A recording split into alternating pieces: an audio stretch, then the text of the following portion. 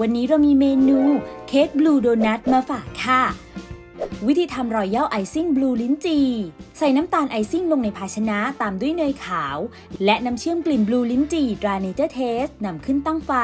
คนตลอดเวลาจนส่วนผสมละลายหมด แล้วปิดไฟ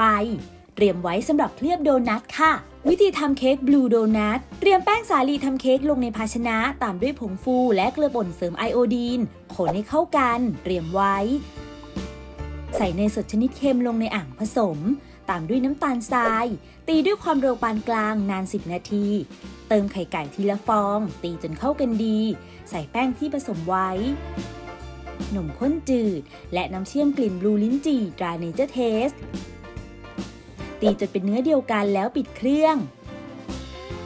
บีบส่วนผสมที่ได้ลงในพิมพ์ซิลิโคนทรงโดนัทประมาณ3ส่วน4ของพิมพ์นำเข้าอบที่อุณหภูมิ 300 องศาฟาเรนไฮต์นานประมาณ 35 นาทีหรือจนกระทั่งสุก ชุบหน้าเค้กด้วยส่วนผสม royal icing blue ลิ้นจี่แต่งหน้าด้วยลูกปัดน้ำตาล และ royal icing ผสมสีฟ้าบีบเป็นลายเส้นให้สวยงาม จัดใส่ภาชนะ พร้อมเสิร์ฟค่ะ แค่มีน้ำเชื่อมตราเนเจอร์เทส ไม่ว่าจะรังสรรค์เมนูอะไร ก็อร่อยได้กลิ่นและรสชาติคุณภาพเยี่ยมทุกเมนู